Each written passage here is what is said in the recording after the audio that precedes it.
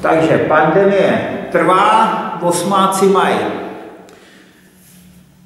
povrch válce, už zjistili, co to je válec, jak je tam pojmenovaný a narazili jsme na povrch. Prosím vás, dokud to neumíte rozdělit na jednotlivé kroky, tak to nevypočtete. Najednou tam vidíte nějaký vzorec a jestli si myslíte, že si ho zapamatujete, nezapamatujete.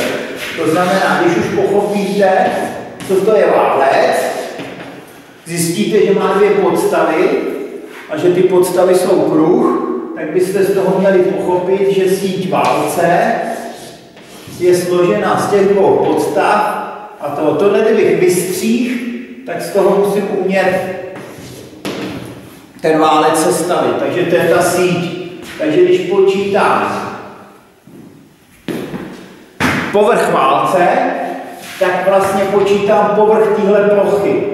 Takže mám nějaký válec, tady je nějaká jeho výška a tady znám nějaký poloměr, takže když výška bude 5 cm a poloměr 2 cm, tak žádný jiný údaj nepotřebuju. Proč? Protože si musím umět představit, že ta výška je tady to, to je těch 5 cm. Tady, když mám ten poloměr 2 cm, tak z toho vím, že celý průměr je 4 cm,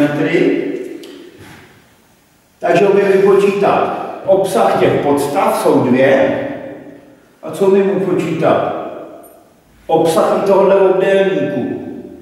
A co je tohleto? No tohleto je obvod toho kruhu, to znamená, tohle je pi krát d.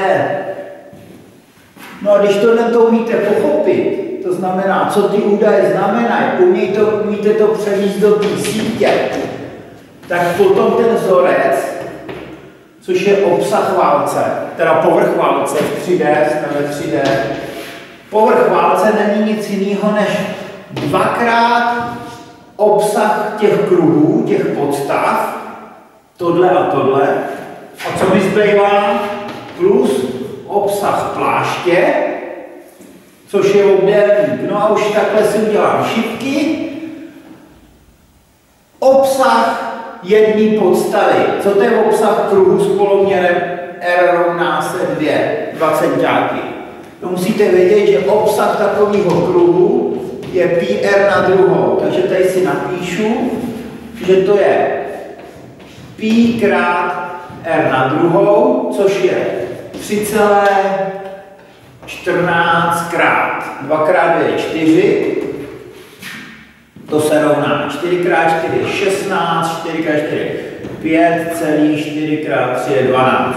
12,56, ale pozor, to je ta jedna ta podstava. A já mám dvě, takže to vynásobím ještě dvěmi a mám to 6 x 12, 1, 10, 1, 1, 24, 25.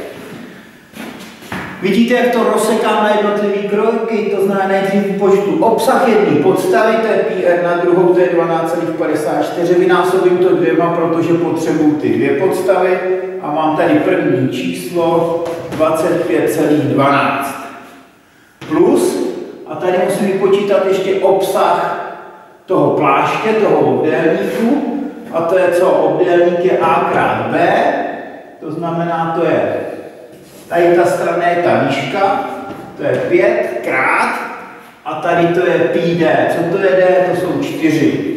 To znamená pi krát 4 cm rovná se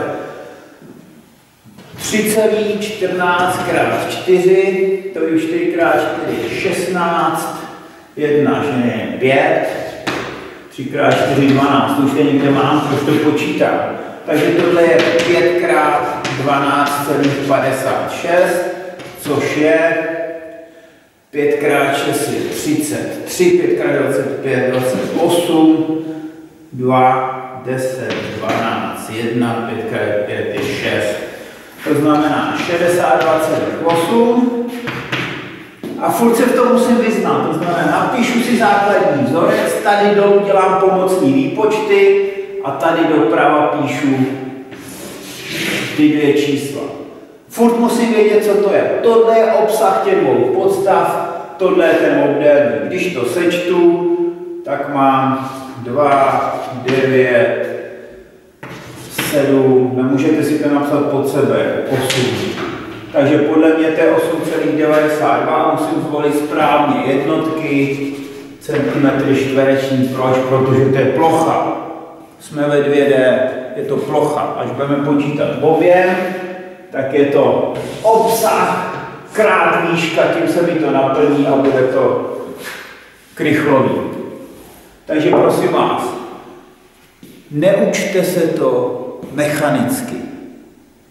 Naučím se ten vzorec, pak to tam nějak dosadím. Ne, za A vzorec zapomenete, ten musíte umět sestavit. Musíte si u každého tělesa představit síť, rozsekat ji na jednotlivé podstavy a plášť a vypočítat. Budeme dělat jehlany, budeme dělat kužele, je to furt stejný, jestli se to chcete naučit mechanicky, nenaučíte se to, bude se vám to všechno motat. Aplikovaně. Takže to zkuste pochopit, jestli jsem tam někde udělal chybu, tak mi odhalte, napište mi, ale důležitý je ten postup. Umět tu analýzu, rozdělit to na jednotlivé kroky a pak to umět zase spojit. To je ten mozku. To je pro život důležité. Když budete stavět barák, tak musíte vědět, sakra, chci mít barák.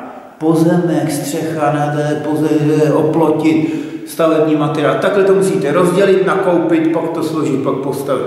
Jestli něco vynecháte, a vy to vynecháte, tak ty chytré firmy si vás namažou na chleba.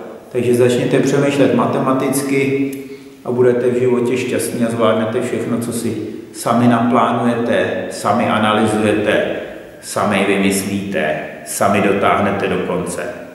Makáme.